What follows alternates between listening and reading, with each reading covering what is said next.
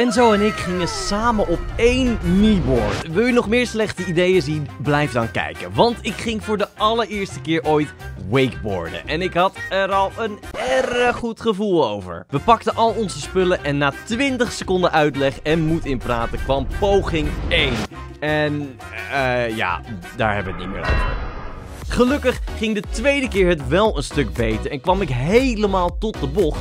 Eh, totdat ik me herinnerde dat ik helemaal geen uitleg heb gehad over hoe je bochten moet maken. Oftewel, vol in het water. Bijna. Een kneeboard. Eerst probeerde ik een rondje met Rutger. En gelukkig hadden we totale controle bij het Nou, borden. ja. Rutger viel er hier af, maar ik had drie kwart van het parcours daarna afgelegd voordat ik viel. Dan maar met Enzo proberen. Ik ging deze keer achterop en het ging goed. Totdat ik weer op drie kwart van de baan eraf viel. Maar Enzo maakte het rondje voor ons af. Alleen wel zonder boord.